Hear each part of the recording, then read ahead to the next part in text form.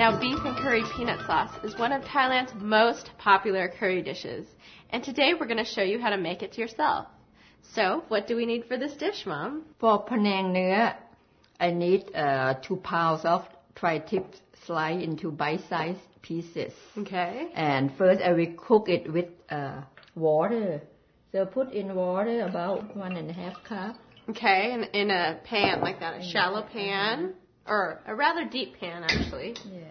And you're going to bring that to a boil before you put your tri-tip in, right? hmm Okay. Okay, the water is boiling. Put the meat in. Okay, and you're going to cook, you're going to fully cook this right now? Uh-huh. Okay. Uh-huh. One teaspoon of salt. Okay. All right, so the water's cooked down Mm-hmm. about to a quarter of what it was, almost gone pretty much. Uh-huh. And what's next? Okay, we turn the heat off. Okay. Okay, I'm gonna put this aside. Okay, now we're gonna use another pan to cook the curry, medium heat. Medium, all right. So first I need one can of 13.5 ounce coconut milk, but Okay. I pour in cook first. Okay. Can. Okay, and bring the coconut milk into a boil. Okay. Put in the two tablespoons of uh, Panang curry paste. Okay. And now what exactly is in Panang curry? Panang curry paste is a blend of uh, dry chili peppers, uh, peppercorns, fresh shallot, fresh garlic, uh, cilantro roots, cilantro seed, uh, cumin seed, lemongrass, uh, galanga, salt, and shrimp paste, and mash into paste. So you're mixing it in real good. Make sure everything gets blended up and incorporated into the coconut milk. Now we can put in the fish sauce. This Okay. is four tablespoons of fish sauce. Okay. Give it all its salty flavors. Now it really smells like Panang curry. Had to add the fish sauce. If you, you feel the heat is too high, you can lower it down. Okay. You don't want a vigorous boil. You just want it bubbling a little bit, right? Ready for the meat that we cooked earlier. Need a little help stirring it. With all the juice too. That's right. Juice is good part. You're coating the meat in the sauce now. Mhm. And you're not really cooking the meat because obviously it's already cooked. Normally, uh, most people don't put any vegetables uh, except the Thai basil, Uh-huh. but I like uh, vegetables, so I'm gonna cut some carrot. Okay, great. Uh, why don't you put uh, about half cup of water, Water. in it? If it it's look looking dry, dry. right? Uh-huh. How's that? Yeah, that's look good, and and let it Sit. cook. hmm Okay. Let's get to those carrots. Okay, I probably need about four carrots. So I clean these, and this is so fresh. So normally when the carrot is is fresh like this, I don't bother to peel the skin. Okay. And now, are these carrots going to be soft when you eat them in the curry? Uh huh. Okay. We cook this until it's tender. Okay. And I like the carrots in there because it adds a little bit of color. Uh huh. But you never really, you won't see that in Thailand, really. This is your own special Uh-huh. edition.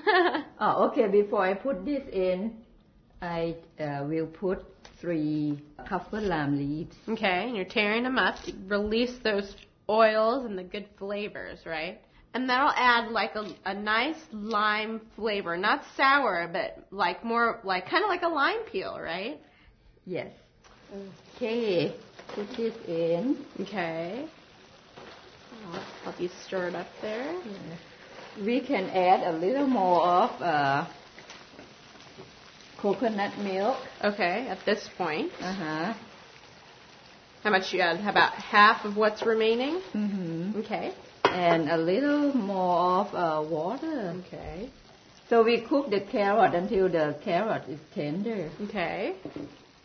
Actually, at this point, you can cover. Okay. And once you cover it, how long do you want to cook it for? Probably three, four minutes until the carrot is cooked. Okay, let's see. The yeah, it's cooked. The carrot is tender now. Okay. So I'm gonna put in one tablespoon of sugar Okay. and put in two tablespoons of Peanut, butter. Chunky peanut butter again. I like to have those little bits of nuts in there. And then I will cut some uh, red bell pepper. Okay. Now these bell peppers give a great contrast to the soft carrots. Get- give you a little crunch and really good color too. Okay, stir it in a little bit. Okay. We don't have to really cook this. Right. 'cause you Okay. want to keep them crunchy. The Thai basil, and then if you cannot find this, you can use the sweet basil Okay. And a little Coconut milk to coconut top it milk. off. Uh-huh. Yeah, you can turn off the heat now. Okay. Uh-huh. All right. Dish looks great. I love all the colors. Okay, you wanna try? Of course. I'll just try the sauce.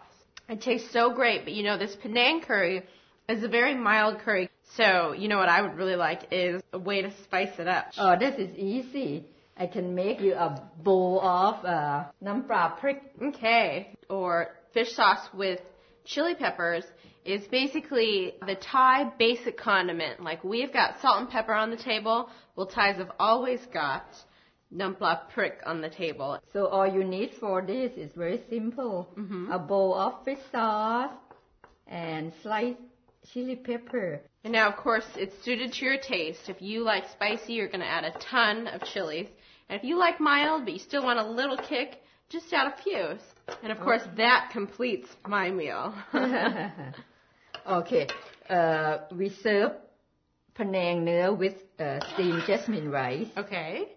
We've got our steamed rice here, all hot and ready to go. Okay. Get a nice serving of the Panang and then a generous scoop of rice too.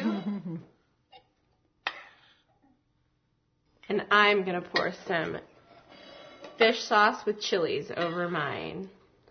Thanks so much for joining us. Kokun.